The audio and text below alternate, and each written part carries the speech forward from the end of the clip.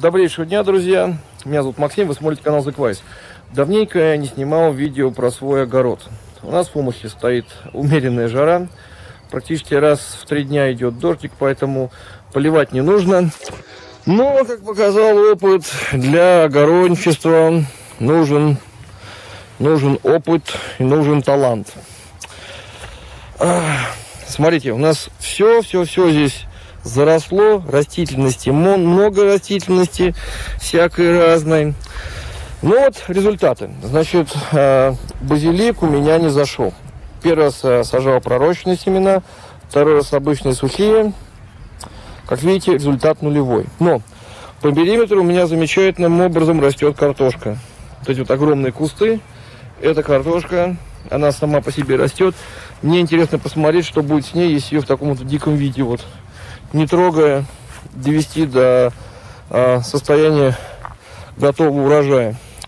Смотрим дальше. Вот здесь у меня должна была быть редисочка. Давайте посмотрим, что у меня тут получилось. А. Ну вот, вот такой тут урожай редиски. Пошла на семена. Я так понимаю, хоть одну-то я здесь выдерну редиску-то, хоть что-то у меня будет. Вот, вот такой редис у меня здесь. Да. С редисом у меня тоже не сложилось. А, о, одна редиска есть. Супер, ура! У меня есть целая одна редиска. Ее даже можно будет попробовать. Я отдельно отложу. Вот. Ну, а все остальное вот такое вот. вот. Смешное. Значит, нужно какой-то определенный сорт сажать. Но у меня зато хорошая вот такая петрушечка. Очень хорошая. Кот пришел. Кот пришел тоже с инспекцией. Тоже буду сейчас инспектировать.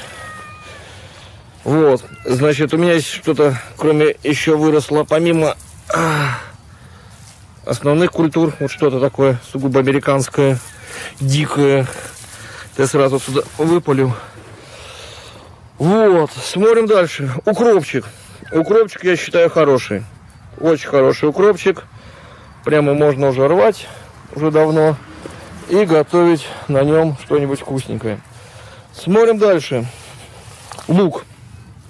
Вот такой вот, вот смешной, непонятный маленький лучок. Похож на газонную травку. Лук у меня, дайте хоть попробую. М?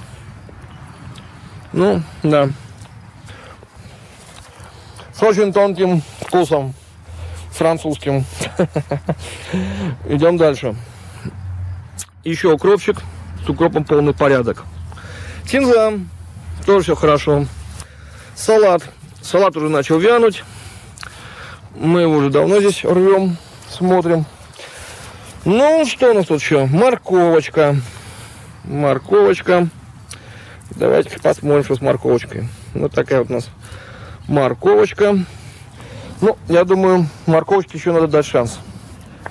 Вполне вероятно, что морковочка еще у нас может пойти. Капуста.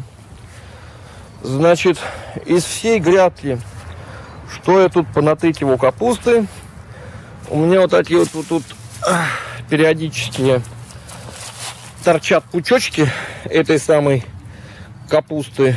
Вот. Еще какой-то американский, блин, сорняк я сейчас его выдернул. Вот. То есть вот капуста, вот капуста, вот капуста, тут тоже капуста. Ну, в общем, будем смотреть, что за капуста. А тут у меня, похоже, лебеда. Вот. А, зато ожидается, наверное, хороший подсолнечник. Вот такой вот он здесь должен быть. Цветочек растет прямо мощнецкий. И вот тут пруд тоже какие-то непонятные растения, которые тоже собираются плодоносить. Вот. Помидор Тут какой-то один кустик у меня вроде бы зацепился. Вот. Но я не могу ничего сказать, что здесь будет. О. Что ж, будем продолжать дальше снимать эпопею про огород. Хотя, э, хотя при таких погодах возить с землей не хочется абсолютно. Вот как кот, видите, разлегся тут спокойненько и лежит. Я сейчас пришел к другому американскому виду спорта. Я себе здесь лежбище сделал в теньке под деревом, под этим замечательным. Как раз здесь можно выходить прямо хоть с утра. Тенечек здесь замечательный. В этом году очень много зелени с дождей мощных. Вот, вот такой здесь тенечек получается очень замечательный. Надувной матрасик. И вот устраиваешься с умной книжечкой, электронной сигаретинкой, выключаешь сотовый телефон, чтобы никто не беспокоил с этими глупостями. И вот тут замечательным образом отдыхаешь. Тут вот какое-то декоративно-культурное парковое растение растет, цветочки тут Галя посадила. А, кстати, еще вот такая штука хочу показать. Это вот из остатков того кирпича, э, который у нас остался после того, как нам поменяли тротуарную дорожку, вот эту вот, сделали такой fireplace. Сейчас протолкнули временно э, горшок с цветком. Ну, вот такой fireplace, шашлычок здесь можно будет жарить. Вот, думаю, что скоро мы это опробуем. Вот, оставайтесь со мной на канале. А, я скоро сниму сейчас очередную серию ответов на вопросы. Вопросов очень много. Сейчас сниму. Еще очень важный анонс. Завтра будет 4 июля. День независимости, Independent Day. У нас э, уже по всей области распиханы магазинчики, которые торгуют пиротехникой. Уже народ пиротехнику покупает, вовсю ее испытывает, петарды всякие, там салюты, зажигает. Очень много американцы покупают пиротехники на этот праздник. Реально для них это День независимости, это не тот непонятный фуфельный праздник в России, когда непонятно от чего независимость. Я так думаю, у России э, ввели праздник э, с заявкой на будущее. Э, независимость от Кремля и от Госдумы. Вот когда это произойдет, славное событие, я думаю, что этот праздник просто поменяет день или, может быть, э, приурочит э, упразднение этих двух органов непосредственно вот на День независимости России. Тогда действительно будет настоящий День независимости. Ну, а в Америке его празднуют по чесноку, вот День независимости. И, соответственно, когда все это светопредставление начнется, значит, я все это постараюсь прокомментировать и заснять. Вот пришел главный попрошай, об меня трется, хочет Кири, ты что, жрать хочешь? Сейчас полезет на мой матрас, падла. Ты что делаешь? Алло, алло, гараж. Алло, гараж, это мое лежбище. Так, все, иди отсюда, иди отсюда, иди, иди, подлый кот. Вот оставил, стоило только без присмотра мне оставить свой матрасик, как он сразу влез. Не, с котами нужен глаз да глаз.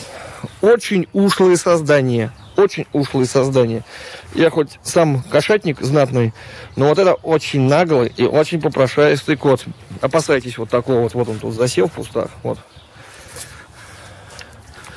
Оставайтесь на канале и хорошего вам дня.